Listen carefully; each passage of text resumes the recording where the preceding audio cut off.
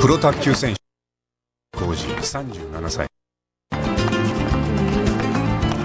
この10年ナショナルチームのエースとして活躍を続けオリンピックに4回連続出場をカ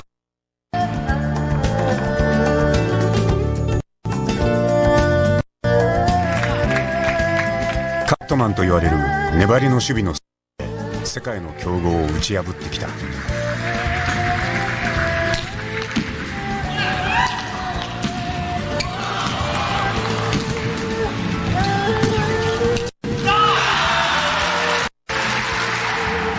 少年時代の松下は決勝では必ず負ける常に2番の選手だった。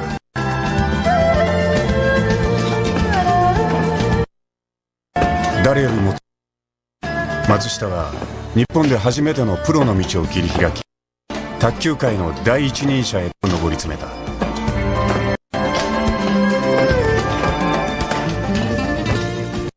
やはり才能ある選手だと全然思わないしやってることがやってきたまあ人とちょっと努力してきただけだと思うんですよ。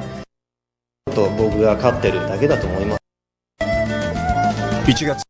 松下は5度目の優勝を目指し全日本卓球選手権に。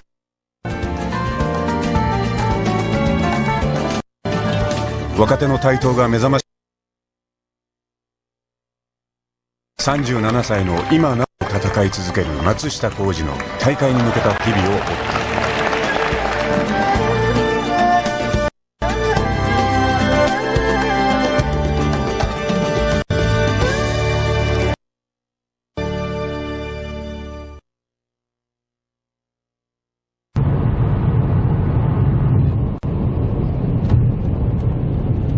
プロ選手の常に一人で行動する。チームに所属練習相手をや大学を転々と生活だ。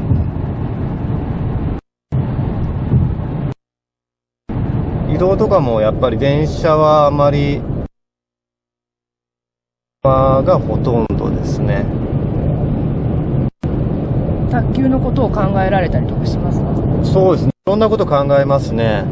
やはりその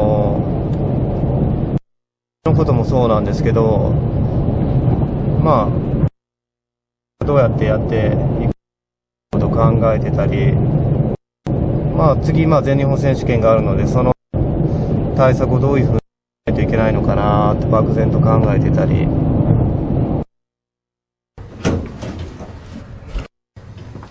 この日は東京実業団チームの練習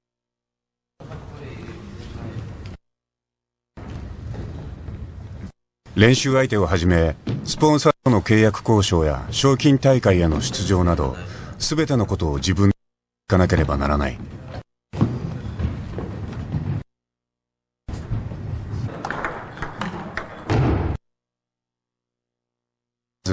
常に変えることで試合での対応能力がている。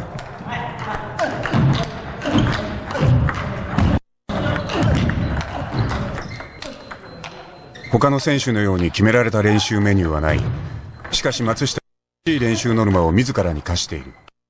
プロ選手は収入に直結するからだ。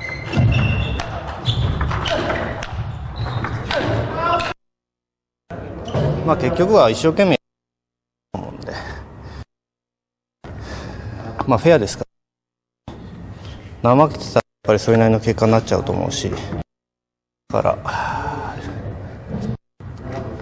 まあ卓球台につくついてる時だけだけじゃなくて離れた時で、えー、勝てるようになことをやっぱり考えてやっていかないといけないんじゃないですかね。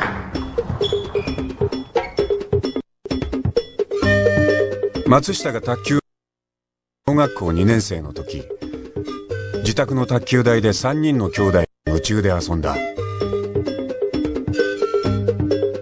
中学高校時代は全国大会の決勝に5度進出。しかし全て敗退。いつも2位だった。大学は当時黄金いた明治大学に。しかし松下の成績は伸び悩んだ。個人戦では決勝に進出することすらできなかった。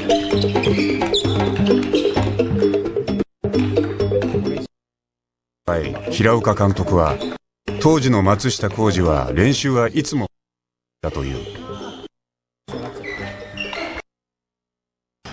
天才肌だったですからね。あれ言っていいんですかねあれ。あの手抜き工事だ。松下浩二じゃなくて手抜き工事って言ってたんですけど。そんな松下に転機が訪れたのは当時世界最強のスウェーデンへ卓球留学をした卓球に生活の全てをかけるプロ選手たちを見てプロが芽生えた。新選手として仕事をしないを続けても強くはなれないと考えた松下は周囲の反対日本初のプロ選手。先駆者だからどういうふうになっていくのかみんなわからない。本人も模索してたでしょうし我々もどういう方向で進むんだろうとか、ね、いくんだろうっていうのはすごくあったですよね。大丈夫かなって。無理じゃないかなと。気は多分かなりの人だと思いますし、サラリーマンをやってたら、ただ、なんていうんですかね、普通の人で終わってしまう。プロフェッショナルになれば、それは、失敗しても、とりあえず日本で初めてにプロになった選手っていうことで残っていくわけじゃないですだから、あの、やる価値はあるなっていうことを思いましたし、あの、もちろん生きていく上ではお金が大切ですけども、あの、それよりも自分やりたいことをやるまた人にできることをやることがまた価値がある。ドライブ決まった。プロになって初めて日本選手権。松下はそれまでにない厳しい練習ね試合に臨んだ。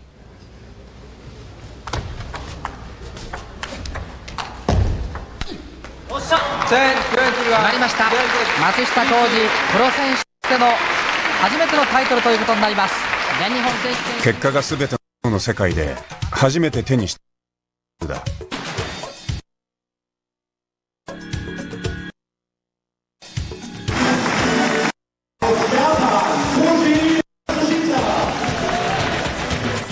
プロになって4年後世界に移した。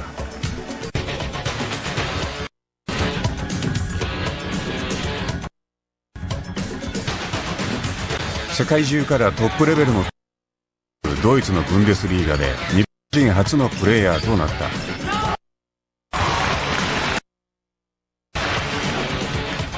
成績が下がると即契約を打ち切られる。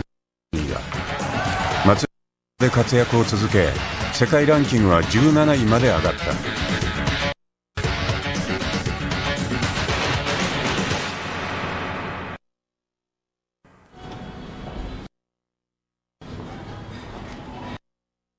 って12年国内では30歳を過ぎると第一線を退く選手が多い中松下は37歳を迎えただよね、本当に。元気だけですね。ないでしょ。はい。うんお願いします。この数年は体に負担がかかる海外での試合の回数を絞っている。彼がなかなか抜けきらないからだ。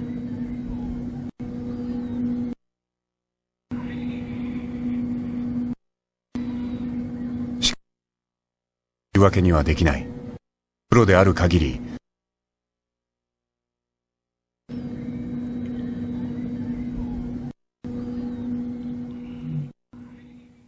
僕はいつも崖っぷちですよ。12、3年前からその、全然変わらないですね。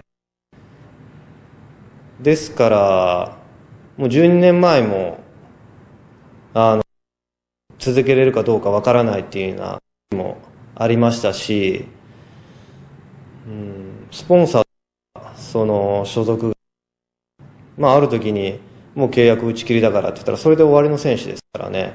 いくら頑張ってても利用価値がないっていうふうに思われたらお金を払ってくれないですからね。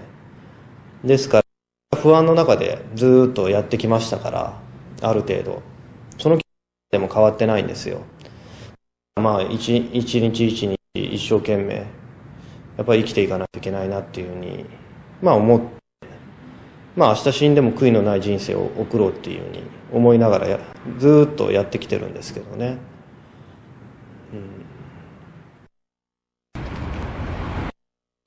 全日本選手権まであと3週間。この日松下は自動車メーカーの実業団チームを訪れた。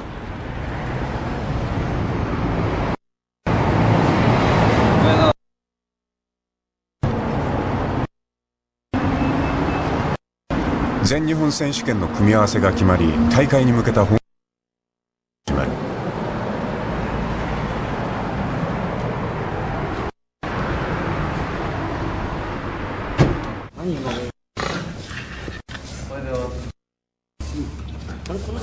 この実業団チームに所属する吉田選手。23歳の吉田や社会人選手権などほとんどのタイトルを独占。今最も波に乗っている若手。その吉田が県の6回戦で松下と当たることに。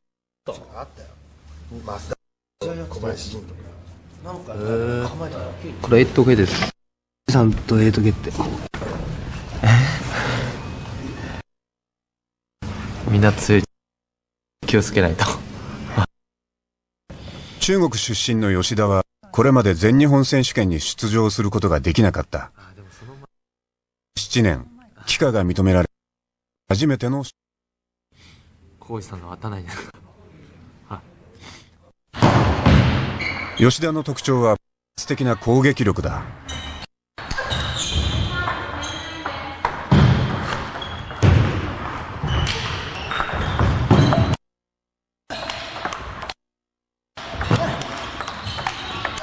ボールに強烈な をかけるドライブのスピードは世界のトップレベルと言われている。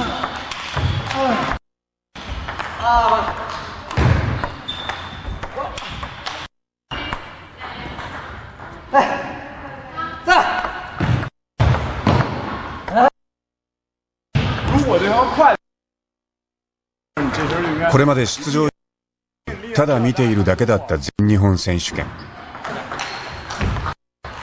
吉田はようやく訪れた。前に連日6時間の練習を続けた、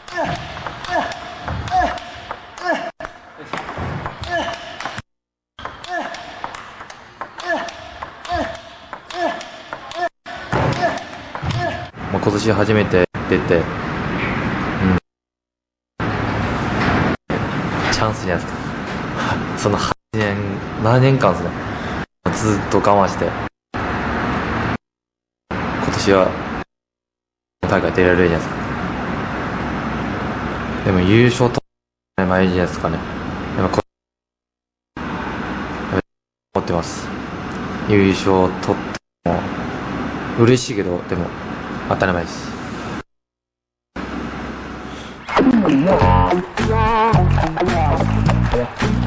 優勝という吉田。松下も譲れない。2年連続優勝した後の去年は準今年はふっかけている。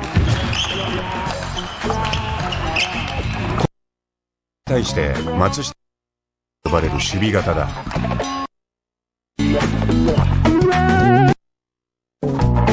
カットの特性を生かしボールに思い通りの回転をかけていく。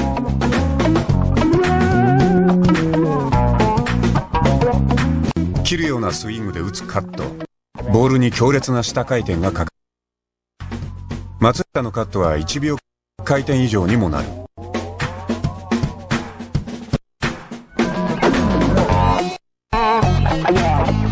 はその回転量を微妙に変化させる。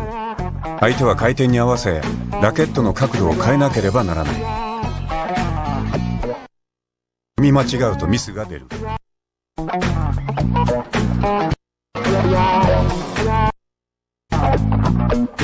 ラケットの反対の面に貼の面にたくさんの粒がある。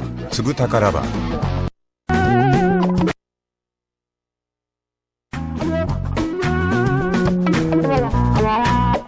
粒高ラバーはバックハンドで打つ。ラバーの粒を利用して相手よりさらに強い。かけて打ち返すことができる。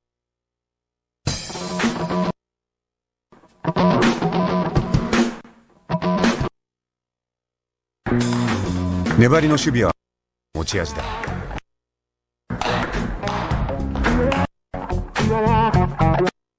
50キロで打ち込まれる相手のスマ前後左右に動き回りひたす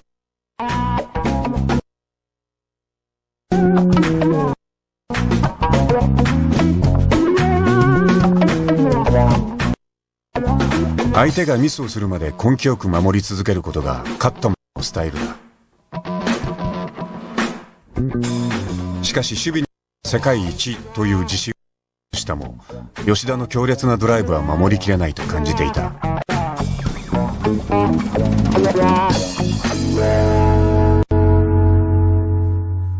僕のカット対彼のフォアハンドのドライブっていうと彼の方が絶対強いと思うんですよ。速いドライブを打ってきますからね。なかなかやっぱり取れないと思うしやっぱりそこまでになんとかそこちらが攻め込めるときは攻め込んでいったり変化けたりしてミスを誘ったりとか戦い方をしていかないといけないんでしょうね。まあ簡単じゃないですね彼に勝つには。はい、やっぱりすごく大変なことだと思いますよ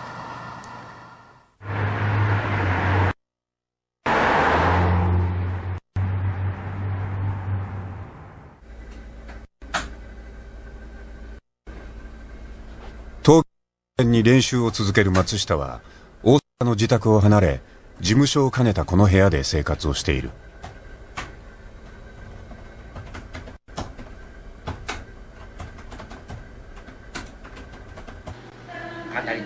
この日松下は全日本選手権に向けてをビデオで確認していた。青のユニフォームが吉田相手は世界選手権2位の実績を持つ韓国の選手だ。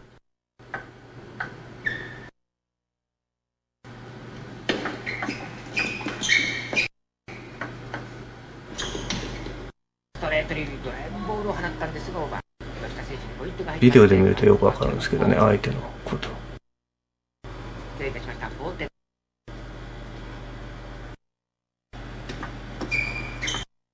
あれですね。あのドライブ打たれると誰も取れないです。松下と同じスタイルのカット吉田の強烈なドライブに攻め込む。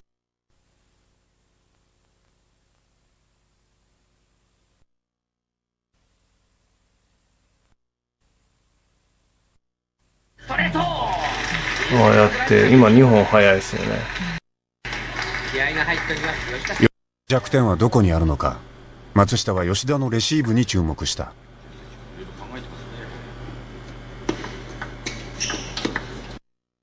やって浮いちゃうんですよ。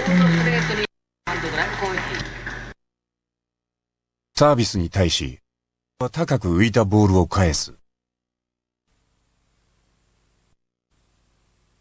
僕がどんなサービスでもそうなんですけど彼のバックサイドの小さいところに彼はレシーブかに払うレシーブしかないんですよ。こう小さく止めるっていうのがないのでレシーブは台から出るんですよ。相手のレシーブのバウンド気はしにくい。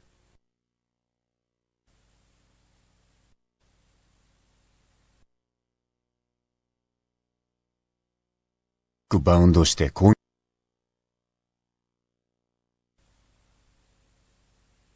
撃攻略の一つの手がかり。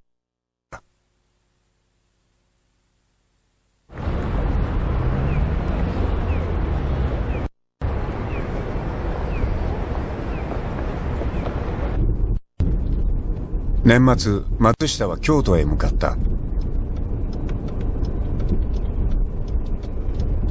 全日本選手に向けての最終調整をためだ。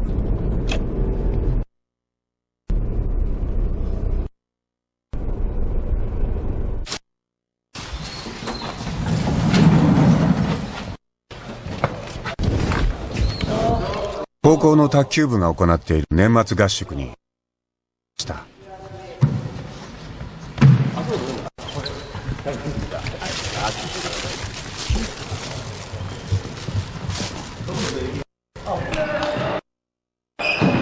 この日同じくやってきた高島。コーチこのチに所属していましたが唯一指導を仰ぐコーチだ。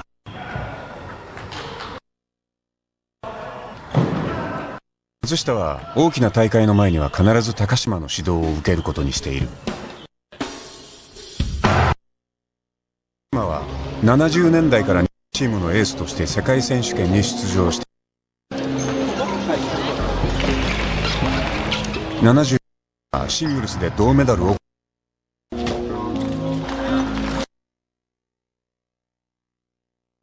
高この華麗な守りからミスターカットマンと呼ばれた。世界の美しいフォームとされた高島のプレーは小学生だった松下をテレビの前にした。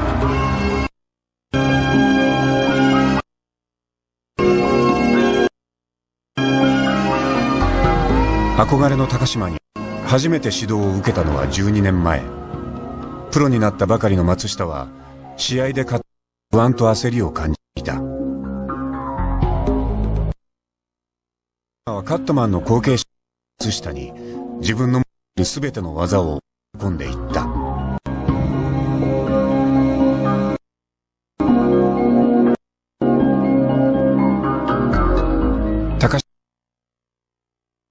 下は全日本選手権で4回の優勝を果たしてきた。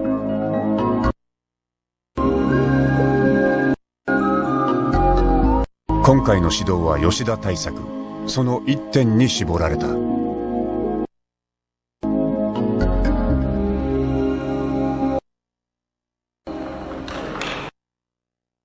の今度の全日本、まあ、そこに集中。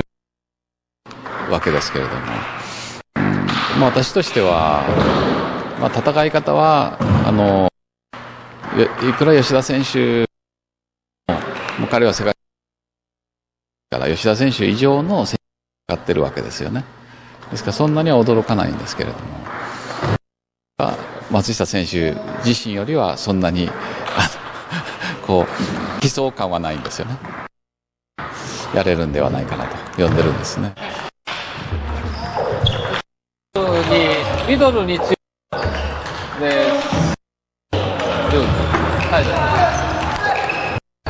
ミドルに強い高島はミドル攻撃への対策を始めた。攻撃とは相手ボールを打つこと。ミドルに来たボールは体をかわし取らなければならない。体勢が崩されるため連続攻撃されるとしくなる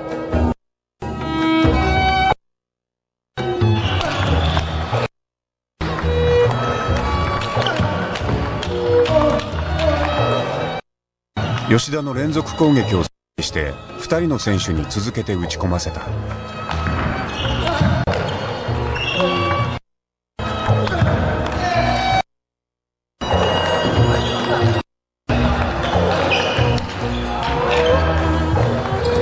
あとは大体ね、はい、感じで、はい。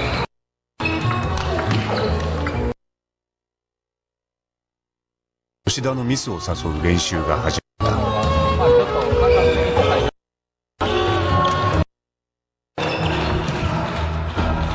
同じフォームで回転数を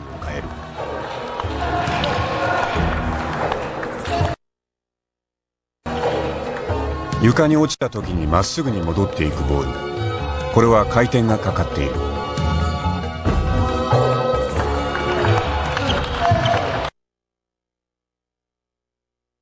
床に落ちた位置で止まるボール。これはナックルと言われ。だ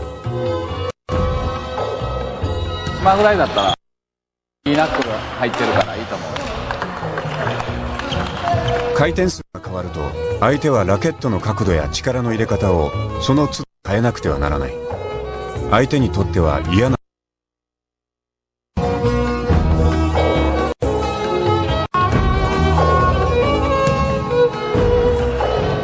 次は守備中心の松下が攻撃のための練習だ。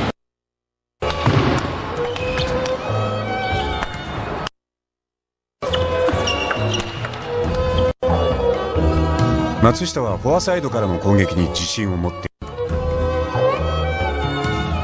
一方吉田はフォアサイドに来たボールのほとんどをクロスに送る習性がある。ここに来れば松下のそのため吉田のフォアサイドへボールを送りクロスを誘う。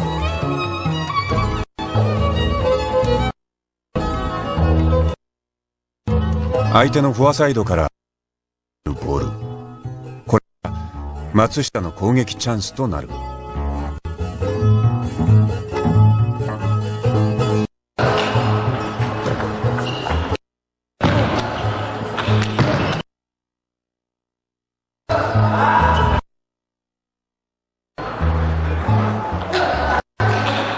多分今のターンをどんどん使わないかんようになると思うね、攻撃どうやって、ね。うん、でサーブも高島は相手よりいかに早く攻撃チャンスを作れるかが鍵考えていた。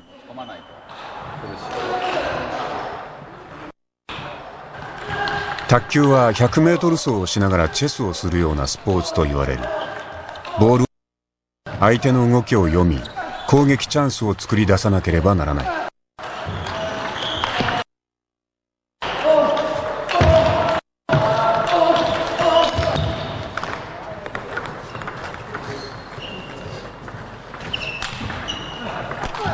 レシーブの時にちょっとやっぱつっつく時でも腰引かずに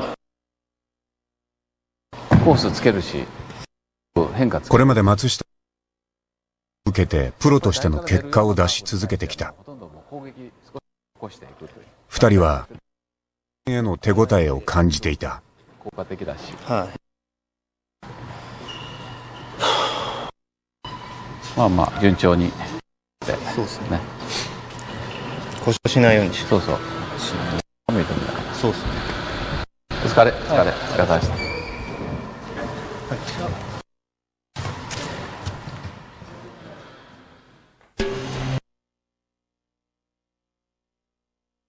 選手権の初戦はあと10日余りと迫っていた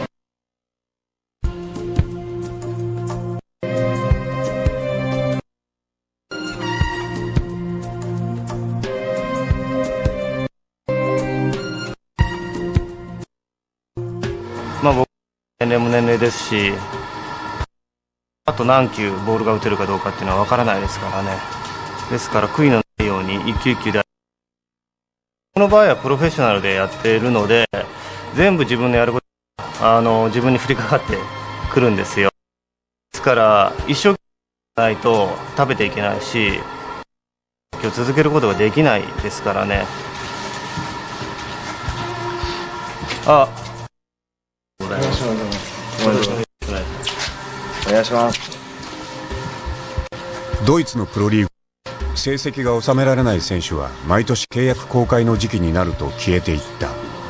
明けましておめでとう。お願いします。厳しいプロの世界を12年間生き抜いて練習はなく続けられた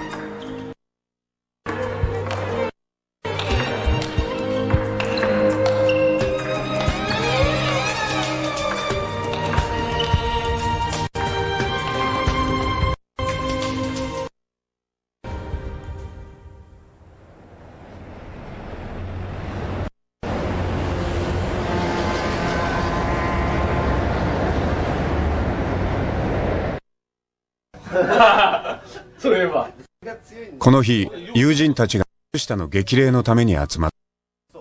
皆松下37歳だ。駅から1分のとこに1万。柏原が型破りペア 大学時代卓球部のチームメイトだった柏原哲郎さん。だがこれほど強くなるとは想像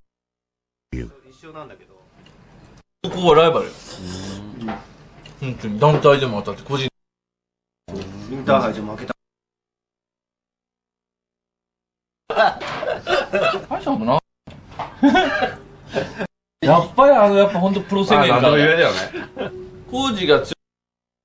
あのー、やっぱプロ宣言して、からなの。それで、プロになって、悩んだわけよ。よ。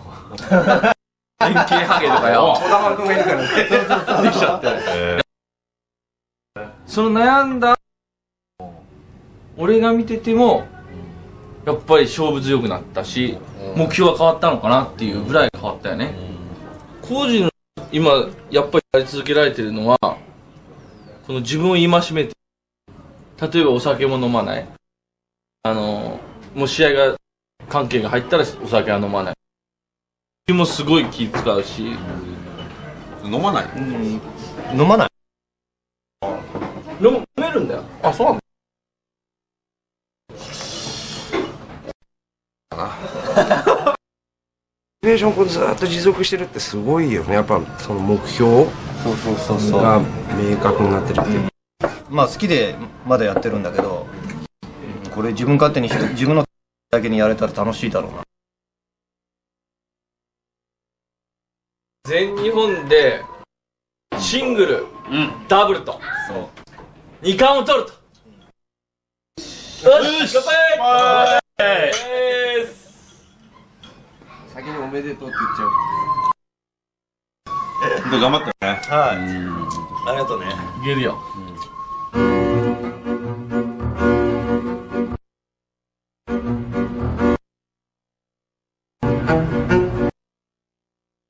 日を迎えた。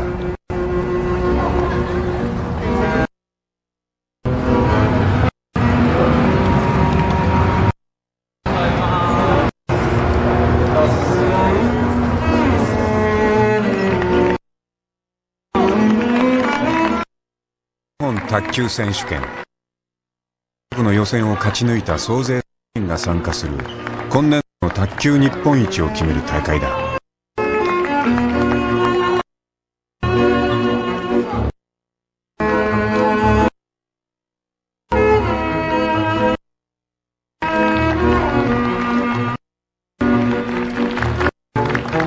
シード選手の松下は4回戦からの登場だ。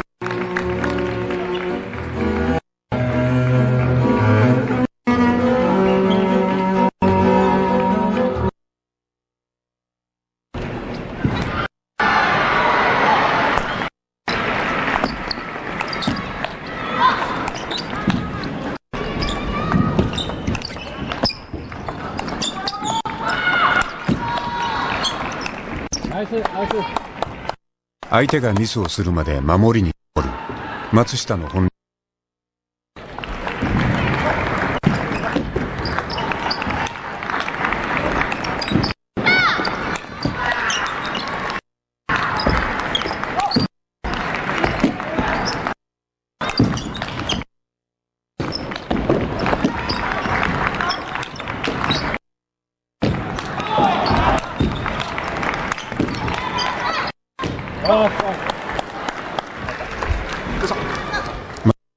初戦に続き5勝ち上がった。すぐ。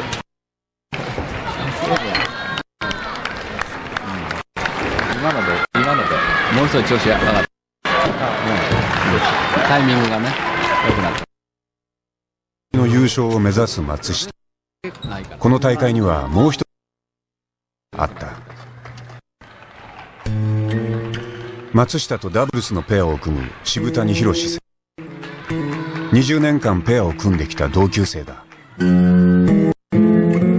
渋谷は膝の故障で。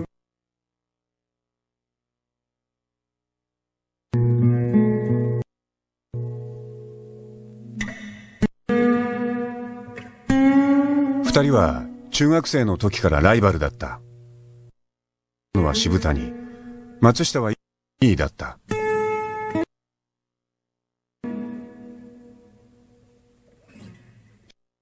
ことを目標にしてきた松下は同じ明治大学に進みペアを組んだ。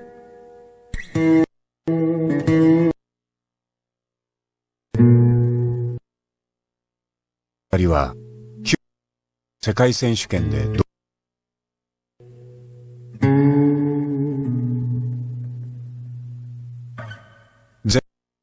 7回の優勝。日本最強ペアの。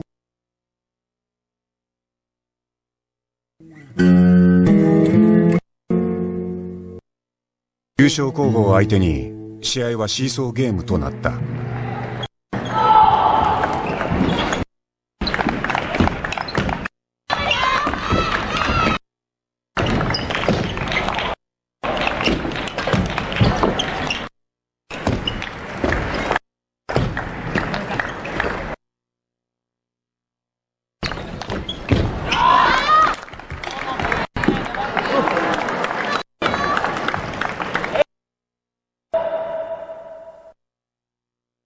しかし限界に来ていた。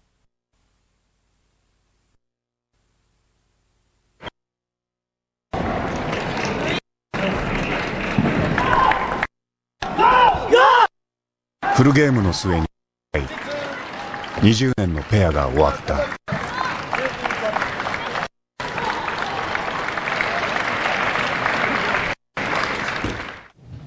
必死にはやってたんです。いいところで僕がミスしちゃって、ね、彼はうまくカバーしてくれたんで。まあペアがもう組めないのはまあ僕やめるっていう腹くくってますから。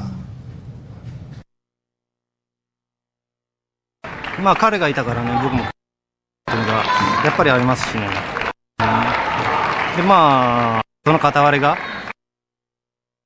まあこの大会でまあラケットを置くとこ置くまあその最後の最後の最後まで自分たちのその納得のまあできた。ラケット振りましたし、うん。まあ結果は残念ですけど、まあ満足のいくな。いと思いますよ。だんだんすごい37歳の 感謝の気持ちのペア解散だ。頑張ってね。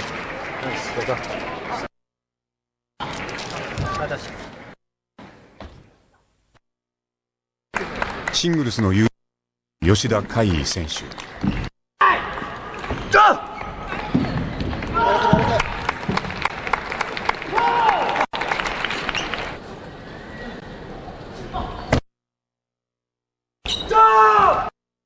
4回戦5回戦。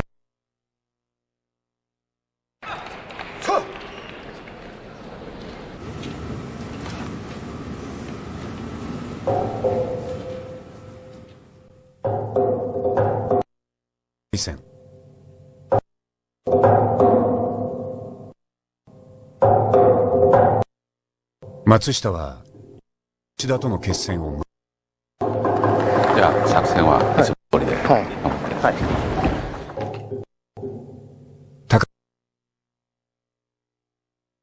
で通用するのか。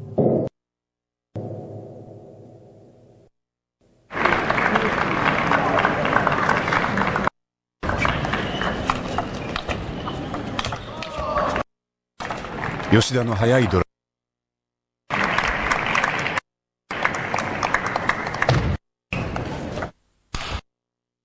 吉田がミドルを攻めてきた。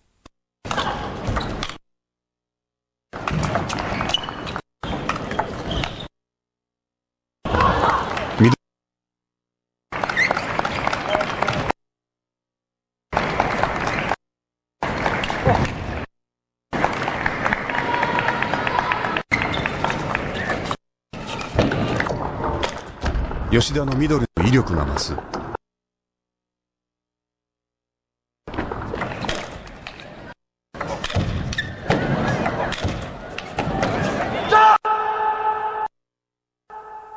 松下振り切れない。ただ返すとこストレートにあの真ん中高島が策を授けた。え注意して、バックに一緒に送っておいてバックから打たしておくと、からフォアへ持ってきた時にはフォアクロス一瞬でフォアのストレートはほとんどあのミスが出るからあのカット入れ強く打ち込んでくる吉田のミスを誘う戦術。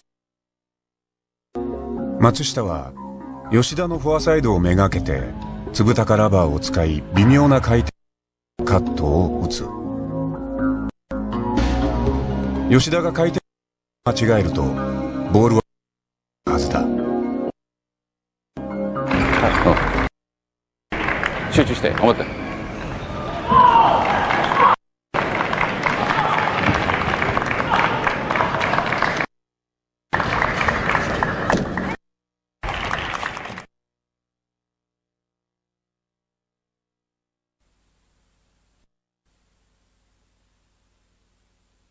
高島の戦術が成功した。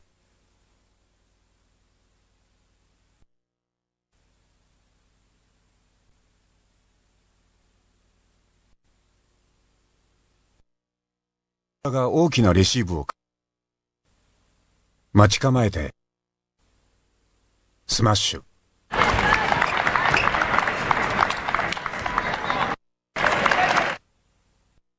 松下がビデオで発見。吉田のレシーブの弱点を。あとラリーになった時にあの球はやっぱ試合は第一。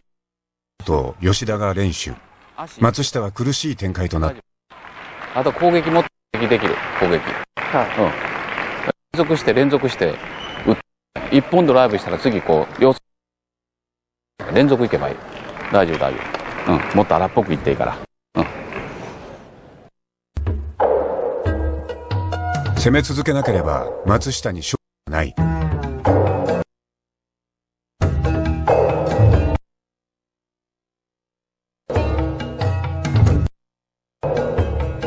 松下。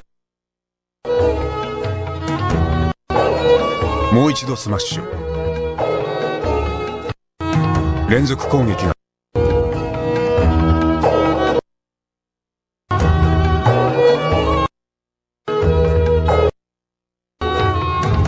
松下の攻撃に冴えが出る。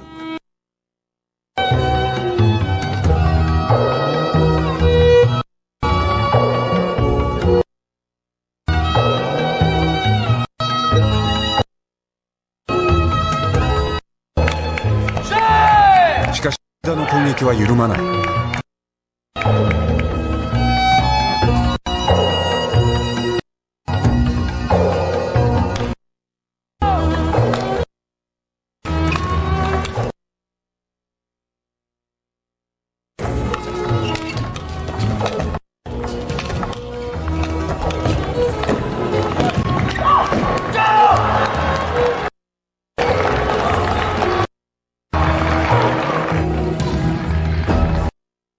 変えた吉田のマッチ。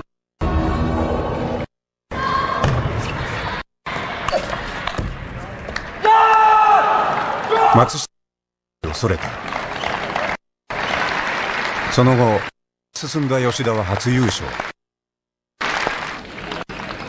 マッチと16に終わった。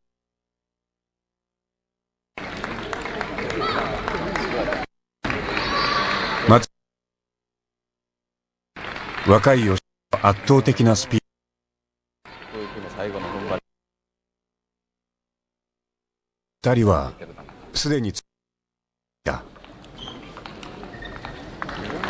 あのーやっぱりボールの威力、パワー、今の日本のよりも数段速いですから、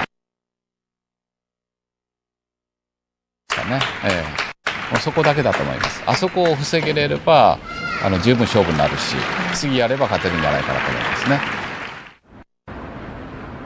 試合から2週間後遊び？ちゃうわ。大阪での国際試合に出場中の松下は久しぶりに自宅に戻っていた教えてほしいらしいよ。え、私一人？で、で、じゃあ俺と、でもある妻明子さん。時間だ。まあ男のもう一人。日本選手権の2日後にヨーロッパ遠征に出発。帰国直後から大阪の出場と忙しい日々が続く。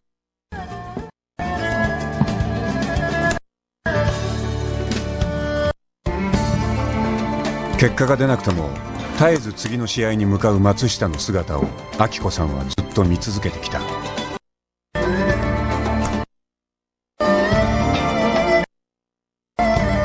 年もやっぱりね負けたりしたらもうそろそろ自分自身でねこうなるじゃないですか。したりとかマイナス思考になる全然それらしいことないんでね。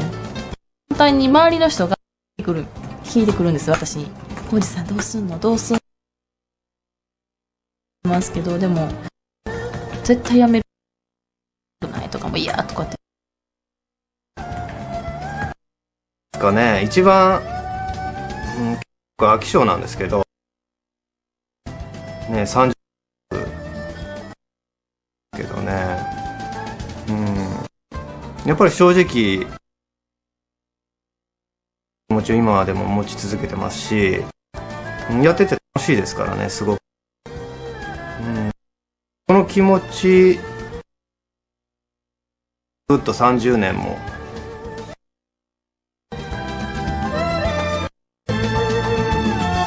初めてラケットを握ったのは30年前。なかなか一番にはなれなかった。松下は強くなるため厳しいプロの世界に飛び込み第一人者にかけ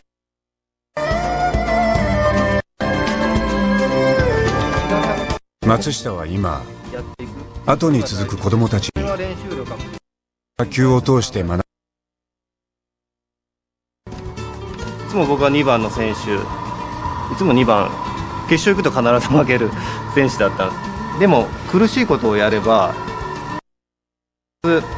その来ると思うから成功するか失敗するのかどんどんどんどんその中でな得るものがたくさんあるからあまりそのこ怖がらずにやってってくださいかける道を選んだ卓球選手松下幸二。いつも2番だった少年は37歳の今もファンを追い続けている。